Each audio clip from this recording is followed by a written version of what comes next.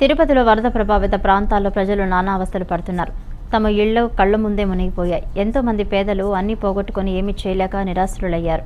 రాయల చెరువు కట్ట తెగిపోయే పరిస్థితిలో ఉంది. భయంతో ఇరవై గ్రామాల ప్రజలు ఇళ్ళను వదులు వెళ్ళిపోతున్నారు ఇల్లు పంటలు కళ్ళ ముందే నీటి మునిగిపోవడంతో తీవ్ర ఆవేదన చెందుతున్నారు పేదలు. మరింత సమాచారం తిరుపతి నుంచి మా కోఆర్డినేటర్ గోపినాథ్ అందిస్తారు. ఏదైతే తిరుపతి సమీపంలో ఉంటే రాయల చెరువు వద్ద ఉన్నాం ఇదే ప్రస్తుతానికి ప్రమాద గంటకలు మోగిస్తుంది. రాజుల కాలంలో నిర్మించినటువంటి అంటే శ్రీకృష్ణదేవరాయల కాలంలో నిర్మించినటువంటి దాదాపుగా ఐదు వందల సంవత్సరాల క్రితం నిర్మించినటువంటి ఏదైతే ఈ ప్రాజెక్ట్ ఉందో ప్రస్తుతానికి పెద్ద ఎత్తున వాటర్ అంతా కూడా ఇక్కడికి చేరడం జరిగింది. మొత్తం పూర్తి స్థాయిలో రాయల చెరువు నిండిపోవడం జరిగింది.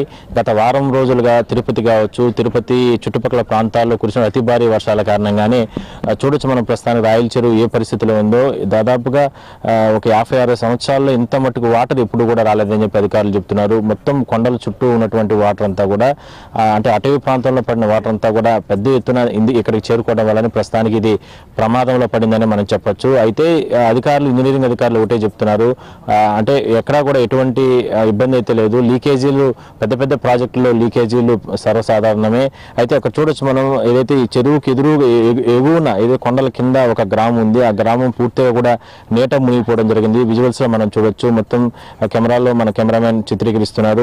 ఒక గ్రామం పూర్తి స్థాయిలో నిండిపోవడం జరిగింది. అయితే ప్రాజెక్ట్కి వెనక ప్రాంతం అంటే కొండ కింద ఆ గ్రామం ఉండే నిండిపోవడం జరిగింది. అయితే ప్రస్తుతానికి ఈ ప్రాజెక్ట్లో పెద్ద ఎత్తున వాటర్ అంతా కూడా బయట వెళ్తున్న తరుణంలో గండిపడి మొత్తం కూడా వాటర్ అంతా కూడా బయట వెళ్తున్న తరుణంలో ప్రమాదంలో పడిందని చెప్పొచ్చు. ఇప్పటికే చిత్తూరు కలెక్టర్ హరినారాయణ కావచ్చు ఇప్పుడే మంత్రి పెద్దిరెడ్డి రామచంద్ర కూడా రావడం జరిగింది. స్థానిక ఎమ్మెల్యే వీళ్ళందరూ కూడా పెద్ద ఎత్తున రాత్రి నుంచి కూడా ఇక్కడే ఉంటున్నారు.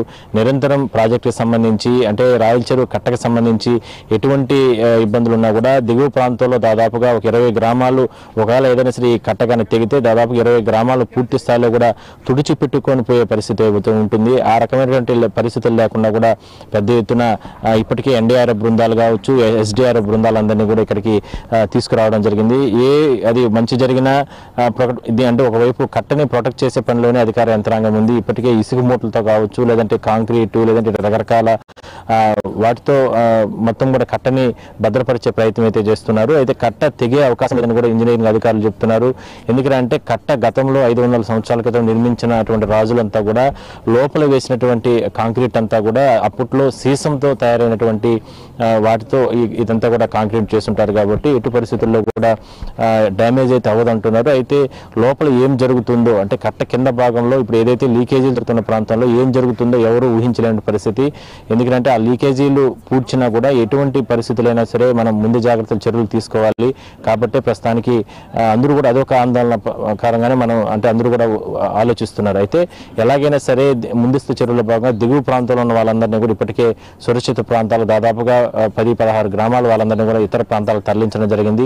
వాళ్ళకందరికీ కూడా పునరావాస కేంద్రాలను ఏర్పాటు చేస్తున్నారు. మొత్తం మీద రాయల చెరువు ప్రమాద గంటికలు మోగిస్తుందని మనం చెప్పొచ్చు. దీన్ని ప్రొటెక్ట్ చేసేందుకు యంత్రాంగం అంతా కూడా కృషి చేస్తుంది. చూద్దాం మరో రెండు మూడు రోజుల్లో కూడా భారీ వర్షాలు మరి ఆ భారీ వర్షాలకు సంబంధించి మరింతగానో వరదలు ఉద్ధృతగానే వచ్చే వచ్చే అవకాశం నేపథ్యంలో అధికారులు ఎటువంటి చర్యలు తీసుకుంటారు? వీడియో జర్నలిస్ట్ కోటితో కలిసి గోపినాథ్ సివిఆర్ న్యూస్ రాయల చెరువు నుంచి.